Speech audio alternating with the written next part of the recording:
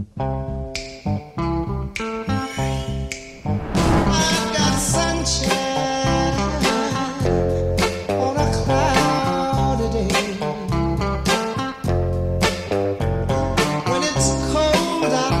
Vagyunk Júli kertjébe, de ez nem is akármilyen kert, ugyanis egy hatalmas nagy fóliaház, rengeteg növényel, és még valami különlegességgel, méghozzá egy selfie paddal. Ezt miért hoztad létre? Jön vasárnap az anyák napja, és jött az ötlet, hogy hozd el anyádat, fényképezkedjetek, legyen egy emléketek erről a napról, választátok ki együtt a virágot, és jó ötletnek tűnt, sőt ki is próbáltuk, és tetszik a kedves vevőknek. Alapvetően balkonvirágok és egy nyári virágok találhatóak a választékban. Petúnia, muskátli, pidens, verbéna, jegecske, mindig nyíló begónia, rengetegféle néven ismerik a kedves vevők, tehát általában minden, amit ilyenkor tavasszal a kertbe, ágyásba, ablakba, erkélyládába, balkonládába ültethetünk. Nehéz felsorolni, körül körülbelül 40 féle növényünk van. Hogyha jön a kedves vevő, hol lehet téged megtalálni pontosan? Természetesen a fóliaházban, tehát nem is kell megállni a kapunál, amit tárva nyitva tartunk. A fóliaház látszik az utcáról is